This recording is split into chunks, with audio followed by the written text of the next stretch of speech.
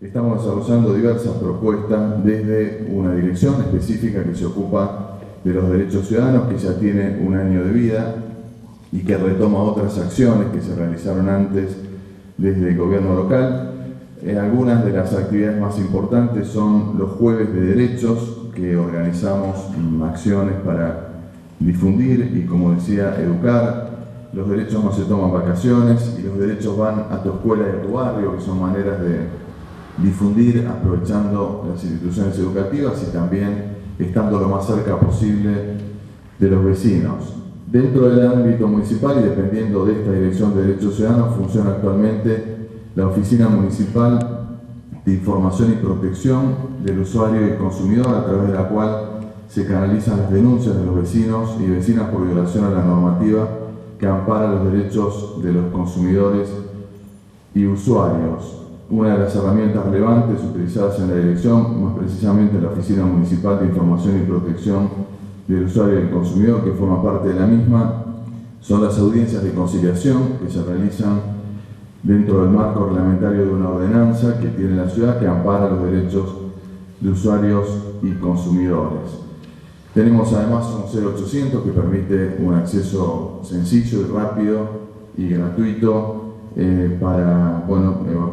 consultas que se quieran hacer y un programa que se llama Los Derechos en, tu Barrio, que aprovechamos las oficinas de descentralización del municipio para estar lo más cerca posible de los vecinos. Y esto nos ha permitido,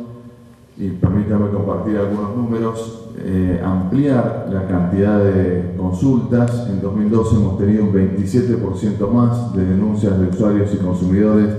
que en el año 2011, totalizando una suma de 1.170 casos,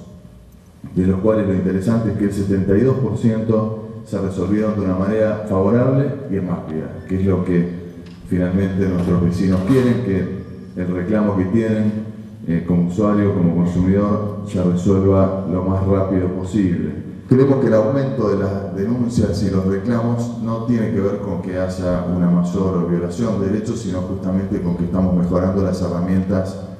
eh, para captar estas denuncias y por otro lado estamos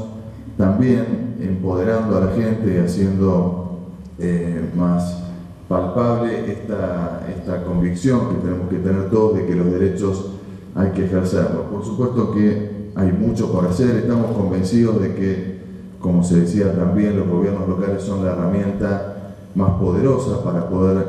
eh, llegar a los ciudadanos y ciudadanas y que por lo tanto los derechos puedan ejercerse y en este sentido estamos comprometidos a reforzar eh, esta línea de trabajo y al trabajo conjunto que, como en todos los temas, siempre decimos que